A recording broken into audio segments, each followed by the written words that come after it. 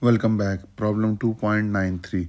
So in this problem, it is given that two holes that have been drilled through a long steel bar that is subjected to centric load as shown for P is equal to 6.5 kips. Determine the maximum value of stress at A and at B. So you can see this is a steel bar that is subjected to load P and this P is equal to 65 kips. Clear? And we have been asked to find the maximum value of stress at A and B. So what we have to find, we have to find maximum stress at point A and maximum stress at point B. So let's start with the solution. Now you can see that due to this load, if I draw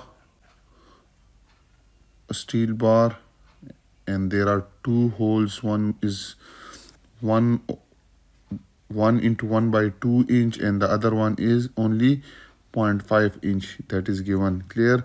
So due to this load p clear there will be stress generated in this uh, steel bar. So if i cut this portion so there will be stress concentration and the stress will be maximum at this point and minimum will be at this point. Clear? So this is maximum stress sigma max and this is sigma minimum and we have average stress. Clear? So what we have to do is that we have to find this maximum stress. Clear? Okay again you can see that this 3 this distance is represented as d. Let this distance is d. Now the remaining this portion are if you draw a hole so this distance of bar or width is known as d while this portion and this portion it is represented as d by 2 because in tension you have to subtract this hole from this weight d. So the, the remaining this portion and this portion will be equal to d. And this small d is equal to d by 2 plus d by 2 now we will solve this problem. So for a at hole a at hole A. So if you take this hole A, so you can see that radius will be equal to its diameter is given. This is diameter. So radius is equal to 1 over 2 divided by 2 which is diameter divided by 2 and that will be equal to 1 over 4 inch clear and this d if it is subjected to tensile load of 65 kips. So this small d which is equal to d by 2 and d by 2 is equal to this capital D this capital D minus d by 2 minus d by 2 or you can say minus simply uh, uh, this D. Uh, uh, sorry this capital uh, D minus this radius uh, diameter of this hole. And the diameter of this hole is 0 0.5 or uh, 1 over 2 clear? Now this d is equal to 3 inch. D is equal to 3 inch. So 3 minus 1 over 2 which is again equal to 2.50 inch. Now now we have this d we have net area. So net area for this whole our net area for this portion and this portion will be equal to this d into thickness t. And this thickness t is 1 over 2 so 2.50 multiply by this thickness which is 0 0.5 1 over 2 is 0 0.5 is equal to 1.25 square inch now we know that average stress is equal to load per unit net area and this load which is given as 65 kips so 65 divided by net area is 1.25 when you calculate it you will get 5.2 ksi okay. So due to this load there will be stress concentration at hole a and we know that this stress concentration factor is equal to sigma max divided by sigma average.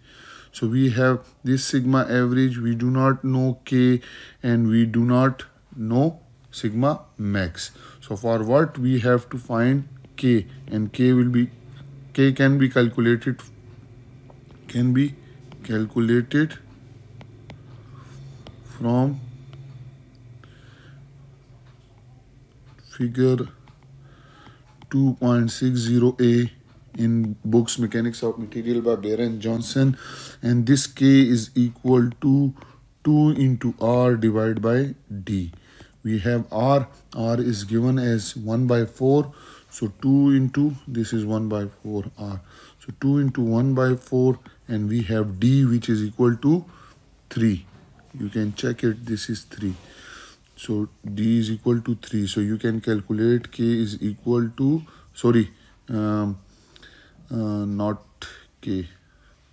K can be calculated. For k i have made a mistake.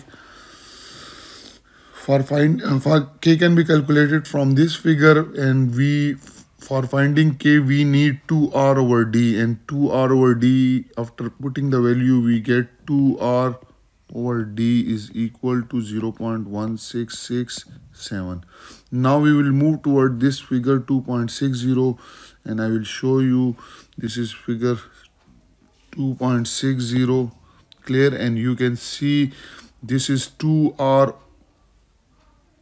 you know, uh, this is this is 2r over d and this is k. Clear? And we have the value of 0 0.166 so this is 0 0.15 and this is will be 0 0.16 so it will be if i draw it and it horizontally as well. So this is the value of k.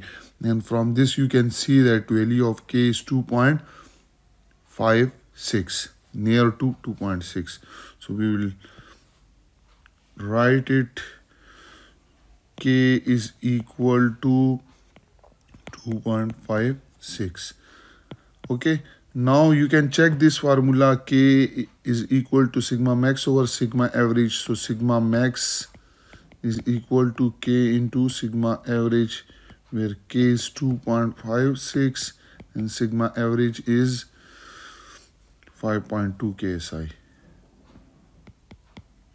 when you multiply it you will get sigma max for hole A is 13.31 KSI. Now we will move toward our second part and that was for hole at hole B at hole B okay again you can check that at hole B we have radius is equal to 1 1 by 2 divided by 2 clear? And radius is equal to 1 by 2 into 1.5 because 1 1 by 2 is equal to 1.5 inch. Clear? So radius is equal to this is the diameter and uh, this r is equal to radius is equal to 0 0.75 also, also we know that uh, this d the remaining portion this d is equal to capital D minus the diameter of this hole. So this d is equal to total width was d minus, uh, 3 1 minus 1 point the diameter of hole at b so this will give you 1.5 inch. Okay. Now what about net area? So net area is equal to again you know d into t. So for whole b we have d is equal to 1.5 and t is equal to uh, 1 by 2 which is 0 0.5 and again it will give you 0 0.75 square inch. Okay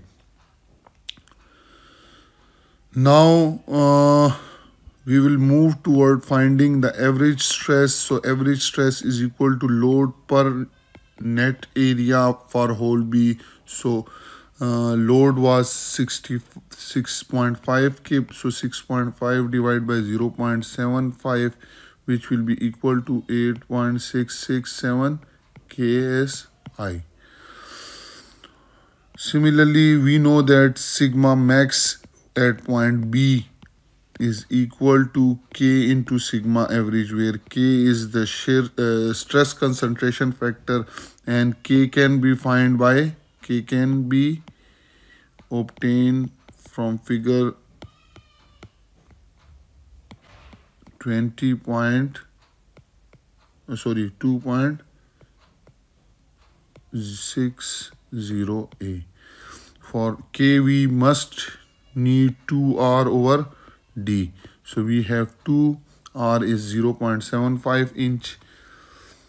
2 into 0 0.75 divided by d is equal to 1 uh, d was 3 d is the total weight clear?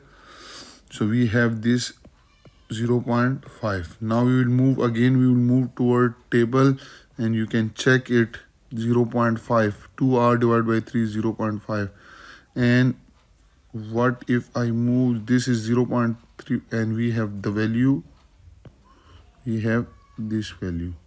So if you project it on the this side so you will get this k is equal to 2.16 I will write it k is equal to